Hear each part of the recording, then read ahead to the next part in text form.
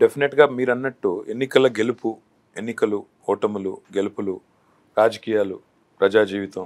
మీరు ఒక ఆఫీసర్గా ఒక డాక్టర్గా ట్రైనింగ్ పొంది తర్వాత ఆఫీసర్గా మొట్టమొదటిసారి అప్పుడే ఇందాక చెప్పారు నాకు. అప్పుడు దాకా డాక్టర్లకు అనుమతి లేదు యూపీఎస్సీ పరీక్ష రాసేది. తర్వాత మా సమయంలోనే వచ్చింది. సరిగ్గా అదే టైంకి నేను ఫస్ట్ బ్యాచ్లో ఐ టుక్ ద ఆప్షన్ అన్నారు. తర్వాత మళ్ళీ ఆ రంగాన్ని కూడా వదిలేసి రాజకీయాల్లోకి తర్వాత ప్రజాసేవలోకి తర్వాత డెమోక్రాటిక్ రిఫార్మ్స్ అని ఇవన్నీ చేస్తూ వచ్చారు. ఎప్పుడైనా నైరాశ్యం వైరాగ్యం ఇవన్నీ వచ్చినాయా? లేదు. నా అదృష్టం కొద్ది ఏంటంటే ముఖ్యంగా రాజకీయాల్లో. డెబ్బై నాలుగులో మీరు అప్పుడు ఆ సంవత్సరం ఆ సంవత్సరాలతో పుట్టారు మీరు. అప్పుడే నాకు స్థిరమైన నిర్ణయం వచ్చింది. దేశం ప్రపంచం ఎందుకో గ్రామంలో ఉన్నప్పుడు ఏమీ తెలిసేది కాదు. పల్లెటూళ్ళు ఏముంది అసలు? ఏ స్కూల్ కరెక్ట్ రావడం తప్పితే అక్కడ పుస్తకాలు ఏం దొరికితే ఆ పుస్తకం చదివేవాళ్ళం. పేపరో ప్రమదావనమో మరొకటి పుస్తకం అంతకుమించి ఏం తెలియదు. డెబ్బై నాలుగు కల్లా నాకు ఒక స్పష్టమైన అవగాహన కలిగింది. మన దేశంలో ప్రజాస్వామ్యం స్వతంత్రం అనుకున్న ఫలితాలను ఇవ్వలేదు. ఇతర దేశాల్లో ఏం జరుగుతుందో చాలా గమనించడం అర్థం కాబట్టి దీన్ని బాగు చేయటమే ఒక లక్ష్యంగా పెట్టుకున్నాను. అప్పటి నుంచి ఇప్పటిదాకా నేను ఒక క్షణం కూడా మారలా. తేడాల్లో ఏమిటంటే చాలా వేగంగా మారుతుందని నమ్మాను. వేగంగా మారకపోవడానికి లాజికల్ రీజన్స్ ఏం లేవు. కానీ మానవ సమాజం అనుకున్నంత వేగంగా మారదో చరిత్ర ఇప్పట్లనే అర్థమైంది. జీవితంలో నేర్చుకున్న అనుభవం అంటే గత ముప్పై ఏళ్ళలో అనుభవం అది నేను రాజకీయాల్లోకి వచ్చింది కూడా పది పదిహేను ఏళ్ళు లోక్సత్తా ఉద్యమం నడిపిన తర్వాత రాజకీయంలోకి వచ్చాను రాజకీయంలోకి అసలు కావాలనుకోలే చాలామంది చెప్పినా కూడా ఎందుకంటే రాజకీయంలో ఉన్న కష్టం నాకు తెలుసు. సమస్య అది కానీ ఎప్పుడు ఆటగాళ్ళని మార్చడం కాదు ఆట నియమాలు మార్చడం అన్నది నా స్లోగన్. కొన్ని సినిమాల్లో కూడా వచ్చింది అన్నమాట. కాబట్టి రాజకీయం అనేది ఫస్ట్గా నేను ఎప్పుడు ఆలోచించరా ఒకనాడు సోనియా గాంధీ గారితో చర్చ చేస్తున్నప్పుడు ఎలక్ట్రల్ సిస్టమ్ మార్చడానికి వర్ దిస్ క్లోజ్ వివరాల్లోకి వెళ్ళడానికి సమయం లేదు. కొన్ని కారణాల వల్ల అది ఆగిపోయింది. ఆనాడు నాకు భావం కలిగింది. మనం ఒక స్థాయి వరకు చాలా మార్పులు తేగలుగుతున్నాము. అదృష్టం కొద్దీ ఈ దేశంలో చాలా మార్పులకు నేను దోహదం చేశాను. రైట్ టు ఇన్ఫర్మేషన్ యాక్ట్ కావచ్చు పొలిటికల్ పార్టీస్ ఫండింగ్ అంతా కూడా నేను తీసుకొచ్చిందే. ఈ తెహల్కా స్కామ్ తర్వాత ఓటర్ రిజిస్ట్రేషన్ ఇంప్రూవ్మెంట్స్ కావచ్చు పెట్రోల్ బంకుల్లో షార్ట్ డెలివరీని ఆపటం కావచ్చు. చాలా వాటిల్లో చాలా ప్రభావశీలమైన పాత్ర వహించాం. కానీ ఫండమెంటల్ చేంజ్కి పొలిటికల్ పార్టీ సిద్ధంగా లేవు. ఈ అనుభవం నాకు ప్రత్యేకంగా పాఠం నేర్పింది. కాబట్టి ఒక ఐదు పది పర్సెంట్ ఒక పది పర్సెంట్ ఓటు కనుక నిలకడగా ఈ మార్పు కోసం అంటే ఇప్పుడు మీలాగా టెక్నాలజీ వస్తుంది కొత్త ఎంప్లాయ్మెంట్ వస్తుంది యువత కొంచెం ప్రపంచం చూస్తున్నారు కొత్తగా మీడియా వచ్చింది దేశంలో ఈ ఈ నేపథ్యంలో బహుశా ఒక పది పర్సెంట్ ఓటు కనుక ఉన్నాయని రుజువు చేయగలిగినట్టయితే పార్టీలన్నీ కదులుతాయని నమ్మకం వచ్చింది. ఆ ఐడియా కరెక్టే కానీ పది పర్సెంట్ ఓటు లేదు. అందులో మన ప్రాంతంలో లేదు. ఫ్రాంక్గా హైదరాబాద్ సిటీలో నాకు ఎయిట్ ఎయిట్ టెన్ పర్సెంట్ ఓట్లు వచ్చినాయి. కానీ గ్రామ ప్రాంతాల్లో ఒక పర్సెంటే ఓట్లు ఉన్నాయి ఇట్స్ ఎ ఫ్యాక్ట్ అది మారేది ప్రస్తుతానికి కనిపించట్లా నాకు. కానీ నిరాశ కలగల. అనుభవం వచ్చింది. నేను అప్పటికిప్పటికీ రాజకీయం అంటే చాలా గౌరవం ఉన్నవాడిని. కానీ మరింత లోతు తెలిసింది. రాజకీయంలో ఉన్న వాళ్ళకి నాకు ఎప్పుడు అనిపిస్తుంది. ఇప్పుడు మీ గురించి అనిపిస్తుంది నాకు. హాయిగా అమెరికాలో ఉండి న్యూయార్క్లో మరి సంతోషంగా ప్రపంచంలో అగ్రస్థానంలో ఉన్న దేశంలో మరి టెక్నాలజీ రంగంలో ఎదుగుతున్న రంగంలో ఉండి ఇప్పుడు మీరందరూ చూసేవాళ్ళ కేటీఆర్ అని కానీ ఏదో మంత్రి కనిపిస్తుంది కానీ వ్యక్తిగతంగా నరకమే కదా. మీరే. రాజకీయంలో ఉన్న వాళ్ళందరికీ ఏ పార్టీ అయినా కూడా నాకు నిజంగా అందుకని రాజకీయ పార్టీలు అంటే చాలా సానుభూతి ఉన్నది. అది కాంగ్రెస్ కావచ్చు బీజేపీ కావచ్చు బీఆర్ఎస్ కావచ్చు టీడీపీ కావచ్చు వైకాపా కావచ్చు. ఒక పాలిటీషియన్కి మనం అంతా వాళ్ళ అద్భుతాలు చూస్తున్నారు వాళ్ళంతా దుర్మార్గులు విలన్స్ అని ఈ సినిమాలో చిత్రిస్తున్నాం. లైఫ్ ఈజ్ లివింగ్ హెల్ నా దృష్టిలో. బాత్రూమ్ లేదు. బెడ్రూమ్ లేదు. ఫ్యామిలీకి టైం లేదు. కుటుంబం తిట్టుకోవటమే. నిద్ర లేదు.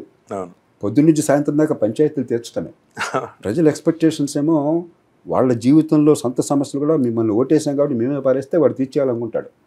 నాకు ఉద్యోగం కోసం కాగితం పెడితే ఉద్యోగం వచ్చేస్తా అనుకుంటాడు ఎందుకంటే పాపం ఆ సమాజం అర్థం కాని రకంగా మనం సమాజాన్ని పెంచాం.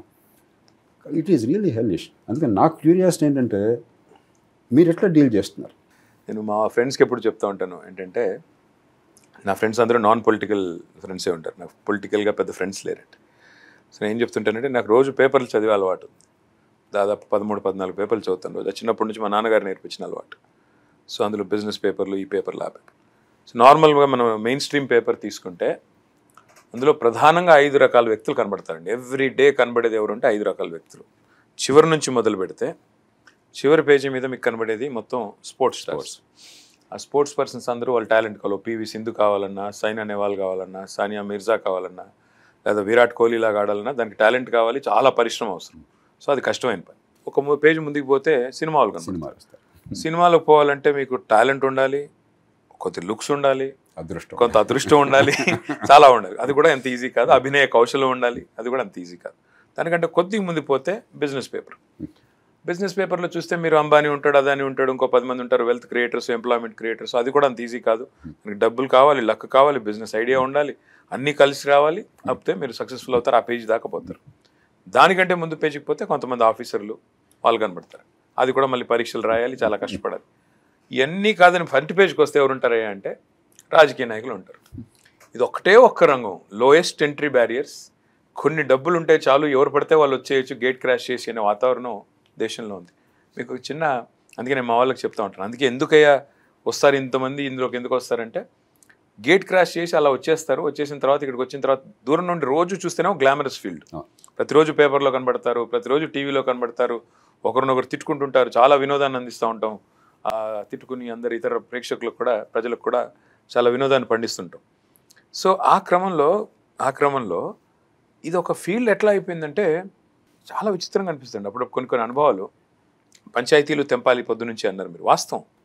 జెడ్పీటీసీకి ఎంపీపీకి పంచాయతీ. నేను నేను కూర్చున్నప్పుడు మా వాళ్ళకి చెప్తా ఉంటాను. పని లేదు. చెప్తా ఉంటాను. నేనేం చెప్తానంటే అయ్యా మీరు మీ పాత్రలు నిర్వచించుకోవట్లేదు సరిగ్గా అని చెప్పి సర్పంచ్ గారి పాత్ర చాలా కీలకం. సర్పంచ్ గారు గ్రామానికి పెద్ద గ్రామానికి ఇప్పుడు రాష్ట్రానికి ముఖ్యమంత్రి ఎట్లానో సర్పంచ్ గారు గ్రామానికి అట్లా. ఈ ఎంపీటీసీ అనే వాళ్ళ పాత్ర ఏంటి? అని దానిలో ఏమవుతుంది సార్ అంటే కన్ఫ్యూజన్ ఎక్కడ వస్తుందంటే ప్రతి ఒక్కరికి రాజకీయాల్లోకి రావాలి ఒక పదవి తీసుకోవాలి ఒక గౌరవం ఒక ఒక గుర్తింపు కావాలని ఉంటుంది. లేదు కేటీఆర్ గారు బాగున్నారు వెంకయ్య అన్నారు. అనాలి. అదొకటి అంటే ఆ- గుర్తింపు కావాలి. సమాజం గుర్తించాలి. నా నా నా ప్రజలు గుర్తించాలి మా మా కుటుంబ సభ్యులు గుర్తించాలి నా ఫ్రెండ్స్ గుర్తించాలి మా ఊరు వాళ్ళు.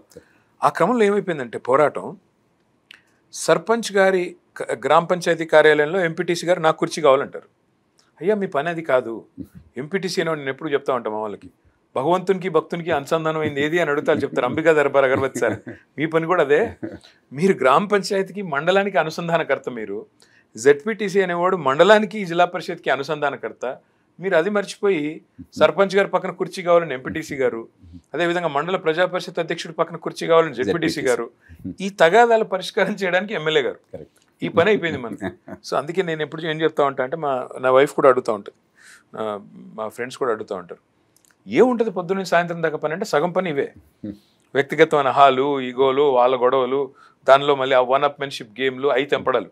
రెండోది ఏమైపోయింది సార్ అంటే పాత్ర నిర్వచనం. అంటే ఇప్పుడు MLA member of legislative assembly legislations చేయాలి. లెజి కొత్త చట్టాలు రూపొందించే దానిలో శాసనాలు రూపొందించే దానిలో మీ పాత్ర కీలకం. That is the whole intent of MLA ఇప్పుడు ఎమ్మెల్యే ఏం చేస్తున్నాడు కాబట్టి పని? కౌన్సిలర్ చేసే పని. సర్పంచ్ చేసే పని ఎంపీ చేసే పని. అంటే ఇంటి ముందు మోరీ బాగాలేపోయినా ఎమ్మెల్యే. ఇప్పుడు ఇప్పుడు ఇంకో ఈ వాట్సాప్లు ఫోన్లు వచ్చిన తర్వాత అయితే ఇంకా ఇంకా అన్యాయం అయిపోయింది బతుకు. మీకు ఒక చిన్న ఎగ్జాంపుల్ చెప్తాను. సిరిసిల్లలో నేను మనందరం ఒకటే టర్మ్లో అప్పుడు టూ థౌజండ్ నైన్లో గెలిచినప్పుడు నేను ఎమ్మెల్యే అయ్యాను. ముందు ఒక ఆరు నెలలు విస్తృతంగా పొద్దున పూట నాలుగున్నరకి ఐదింటికి తిరిగి నేను టౌన్ అంతా. ఆ క్రమంలో ఒకరోజు వచ్చి పడుకున్నాను. బై అబౌట్ హైదరాబాద్ వచ్చాను ఆ రోజు. వచ్చి ఫైవ్ థర్టీకి అట్లా కాల్ వచ్చింది నాకు. ఎత్తాను ఫోన్ ఎత్తితే ఆ సిరిసిల్ల నుంచి ఓ సోదరుడు ఫోన్ చేసి అన్న ఇప్పుడే ట్యాంకర్ వచ్చింది. ట్యాంకర్లో నా బిందేమో వెనకాల ఉంది కొద్దిగా చెప్పి ముందు పెట్టించవా రే ఇక్కడ నేను చావాలా బతకాలా ఇప్పుడు నేను ఏం చేయాలి? ఏంది ఏంది దౌర్భాగ్యం మనకి అని సరే చెప్తాలేరా బాబు అని చెప్పి. నేను అప్పుడు అనుకున్నాను నేను కూడా ఆలోచించుకున్నాను ఏం చదువుకున్నాము ఏం చేస్తున్నాము ఈ బిందెలు ట్యాంకర్లు అక్కడ వరుసలో ముందు పెట్టించే దానికి సిఫారసులు ఇట్లా అయిపోయింది ఎమ్మెల్యే పరిస్థితి. మిగతా వాడి మీ ఓటరే.